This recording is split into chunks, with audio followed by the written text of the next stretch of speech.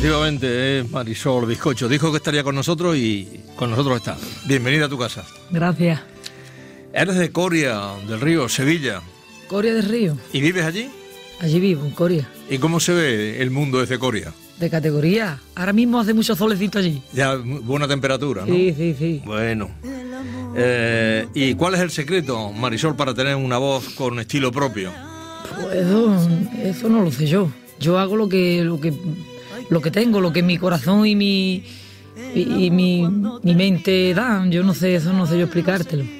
Cuéntanos cómo fue la boda de tu hermana. La boda de mi hermana muy bien, muy bien. ¿Sí? Muchos invitados De categoría. y hasta las tantas. Hasta por la mañana. Este ya es tu segundo disco. ¿Cómo fue el primero? El música, maestro. Música maestro. Fue muy bien, muy bien. Gracias a Dios. ¿Estás contenta? Sí, sí, sí, sí.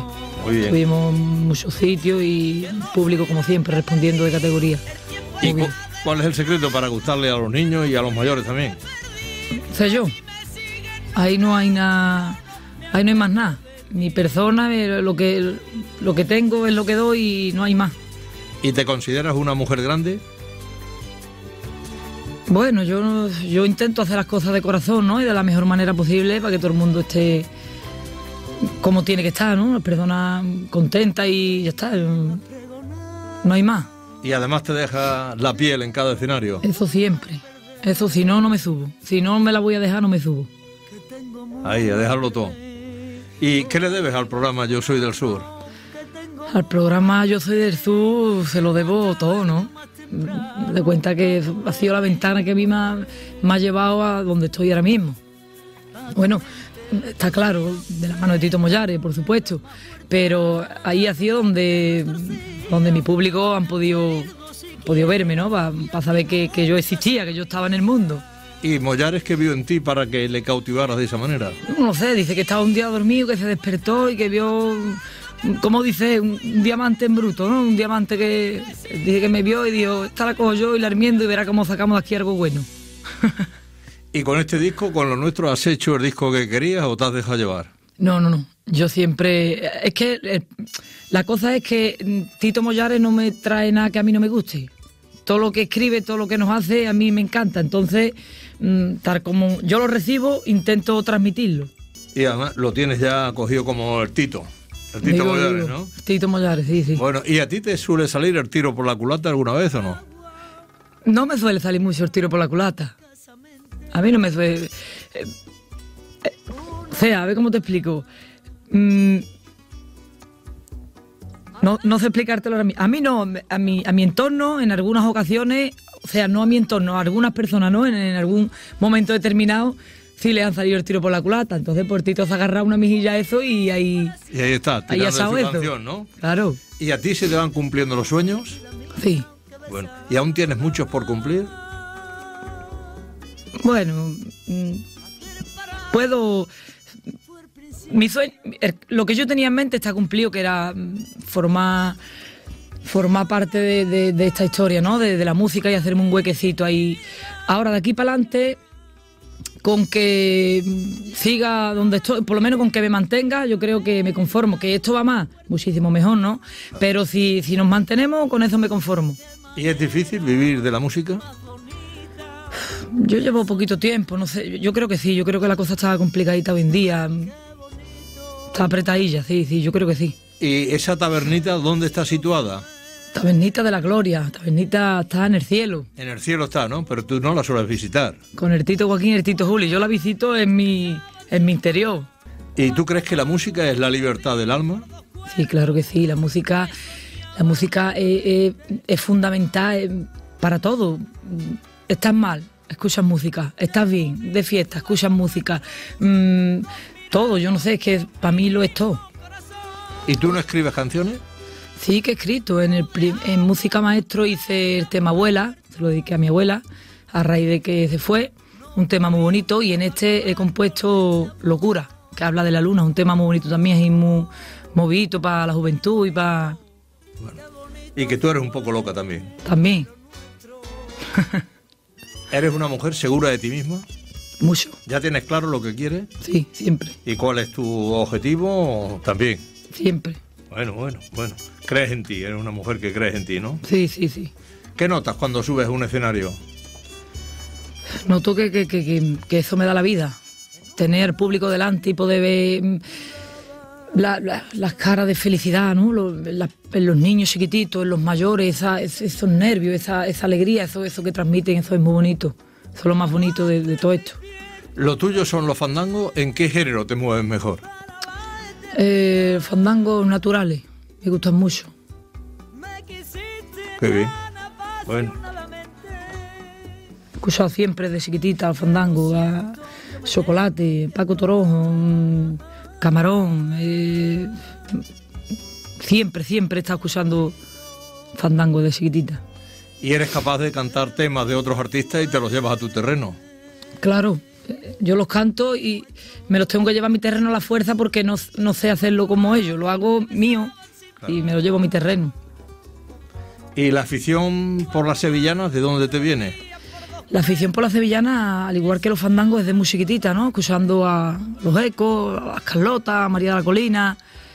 Y igual que el- los fandangos por un lado y la sevillana por otro, siempre los he tenido ahí, ahí, ahí presentes. Háblanos de la canción Hija, si me pongo viejo. Esto es un tema muy bonito, muy especial. Yo desde chiquitita he ido siempre a cazar con mi padre, con los gargos, y tenía yo ganas que el Tito hiciera algún tema dedicado a, a- mi padre, ¿no? Que se lo devotó. Mi padre ya se, va haciendo mayor y, y el, tema habla de que él me dice lo mismo que yo he hecho contigo cuando tú eras chiquitita, ahora que yo ya me estoy haciendo mayor, no te olvides de que tu padre está aquí. Entonces el tema es muy bonito, un tema muy especial. ¿Pero ya no vas a cazar con él? Ya no, hace. Tengo muchas ganas. Hace poco, ahora empieza otra vez la temporada y, y hace poco le estaba diciendo, digo, yo tengo ya mono de, de coger un, dos gargos y una, meternos en una trailla y, y correr unas pocas liebres, porque con esto, ¿sabes? Desde que estamos con todo jaleo de la música, para arriba, para abajo, está un poquito más un poquito más despistado y no he podido acompañarlo tanto. Tenéis la caza, deja. Digo, De este disco, ¿cuál es la que te gusta? El otro era la abuela, con mucho sentimiento. ¿Y este cuál sería la abuela de este? Eh, mira, precisamente hay una soleá que se llama Soleá de las Gitanas, que es una soleá muy bonita, muy bonita. Que está sonando, Soledad de la Gitana. También en la canción No me lo creo, que lo cantas además muy bien, pero tú crees en ti, tú sí que crees, no me lo creo. Claro que creo en mí. Y hay muchas cosas que no, que no te las crees, ¿no? ¿Es fácil engañarte o no? Mm, creo que no. O sea, que no, que no se me engañe tan fácil, que no se me engañe tan fácil. Me puede pasar, ¿no?